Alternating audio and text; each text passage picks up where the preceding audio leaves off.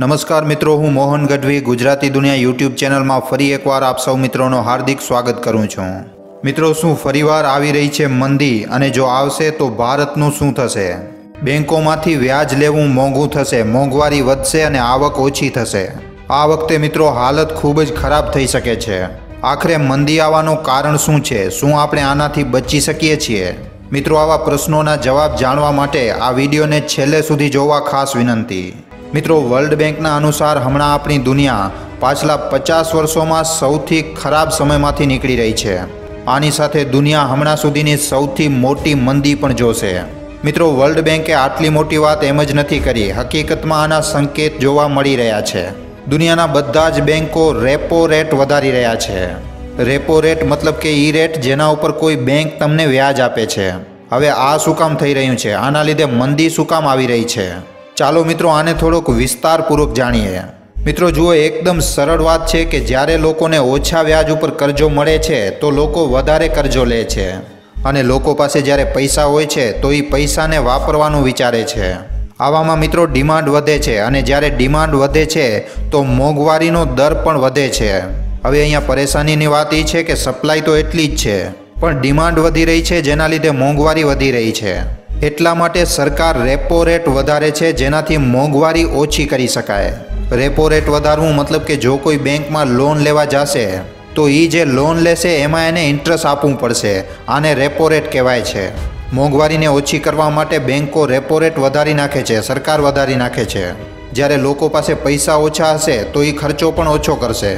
આનાથી ડિમાન્ડ ઓછી થશે અને એના લીધે મોંઘવારીનો દર પણ ઓછો થશે. વર્લ્ડ બેંકના અનુસાર હમણાં દુનિયાના બધા જ સેન્ટ્રલ બેંક મોંઘવારીને ઓછી કરવા માટે રેપો રેટ વધારી રહ્યા છે. પણ મિત્રો, આનો એક ખૂબ જ નેગેટિવ ઇફેક્ટ આવનારા દિવસોમાં જોવા મળી શકે છે. અને એ હશે હજી સુધીનો સૌથી મોટો મંદીનો સમય. હવે તમે વિચારી રહ્યા હશો કે રેપો રેટ વધારવાથી મોંઘવારીનો શું સંબંધ? તો મિત્રો ઇકોનોમિક્સનો ખૂબ જ સરળ રૂલ છે કે જ્યારે ડિમાન્ડ વધે છે તો સપ્લાય પણ વધે છે. અને જ્યારે ડિમાન્ડ ઓછી થાય છે તો સપ્લાય પણ ઓછી થાય છે. હવે સપ્લાય ઓછી થવાનો સીધો અને સરળ મતલબ છે ઓછો પ્રોડક્શન જ્યારે પ્રોડક્શન ઓછો થશે, તો ઘણા વર્કરોને પોતાની નોકરીથી હાથ ધોવા પડી શકે છે અને લોકો બેરોજગાર બની શકે છે. હમણાં ભારતની સાથે સાથે આખી દુનિયા મંદીમાં ફસાઈ શકે છે. મિત્રો, પાછલા પચાસ વર્ષોમાં દુનિયાએ આટલો ખરાબ સમય ક્યારે પણ નથી જોયો. હવે જુઓ, જેમ કે બે હજાર એકવીસમાં ગ્લોબલ રેપો રેટ બે ટકાથી પણ નીચે હતો. લોકો આરામથી કરજો લઈ રહ્યા હતા અને ખૂબ જ ખર્ચો પણ કરી રહ્યા હતા. પણ હવે આ રેપો રેટ વધારીને ચાર ટકા કરી દેવામાં આવ્યું છે.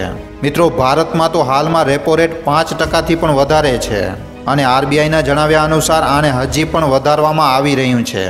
વર્લ્ડ બેંકે પોતાની રિપોર્ટમાં કહ્યું કે બધા દેશોને સપ્લાયમાં આવવાવાળી અડચણોને દૂર કરવી પડશે.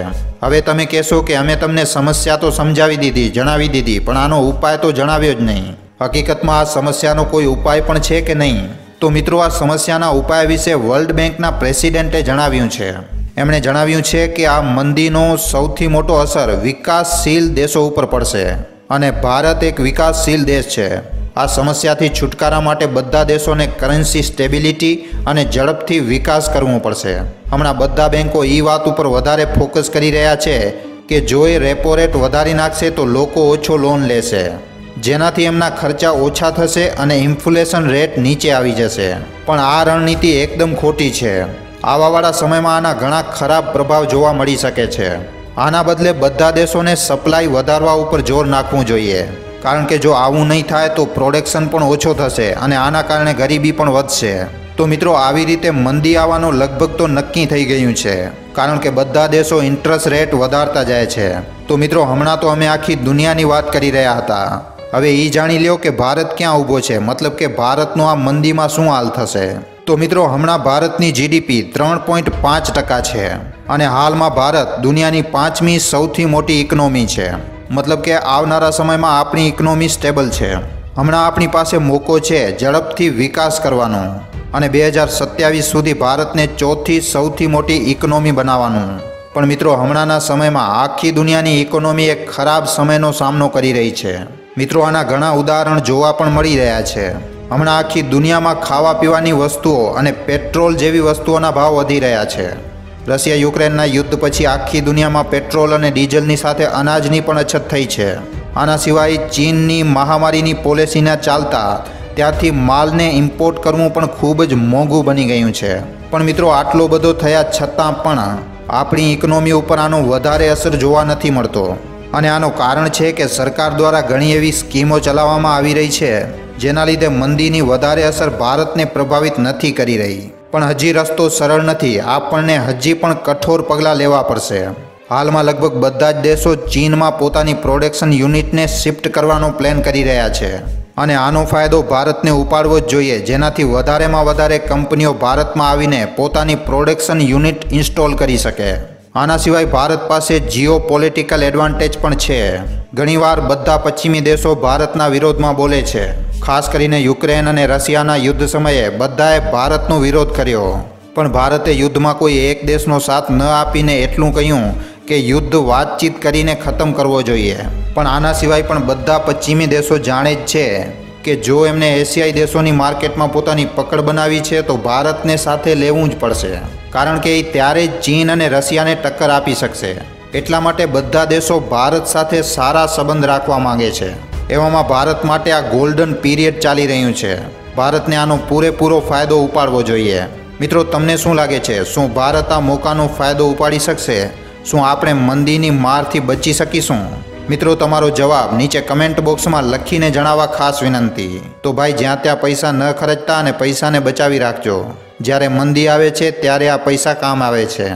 તો મિત્રો, આજના આ વિડીયોમાં આટલું જ. હવે આપણે મળીશું એક ફરીવાર નવા વીડિયો સાથે. ધન્યવાદ. મિત્રો, તમારા માટે એક સારા વિષય ઉપર વીડિયો બનાવવામાં અમને ઘણો જ સમય લાગી જાય છે. માટે આ વિડીયોના બદલે અમે તમારા પાસેથી એક લાઇક અને એક શેરની આશા જરૂર રાખીએ છીએ. કારણ કે તમારી એક લાઇક અને એક શેર અમને આવા જ જાણકારીસભર વીડિયો બનાવવાની પ્રેરણા આપે છે. માટે જો આ વીડિયો તમને પસંદ આવ્યો હોય, તો આ વિડીયોને લાઇક કરીને તમારા મિત્રો અને પરિજનો સાથે શેર કરવા ખાસ વિનંતી. અને જો તમે અમારા ગુજરાતી દુનિયા નામના યુટ્યુબ ચેનલ ઉપર પહેલીવાર આવ્યા છો, તો હમણાં જ આ ચેનલને સબસ્ક્રાઇબ કરી લેજો. સબસ્ક્રાઇબ કર્યા બાદ બાજુમાં જે બેલ આઇકન, જે ઘંટડીનું નિશાન આવે એને દબાવી નાખજો. જેનાથી અમારા દરેક વિડીયોની જાણકારી તમને નોટિફિકેશનના માધ્યમથી મળતી રહે. આખો વીડિયો જોવા બદલ આભાર. હવે આપણે મળીશું એક આવા જ નવા જાણકારી સભર વિડીયોમાં. ધન્યવાદ.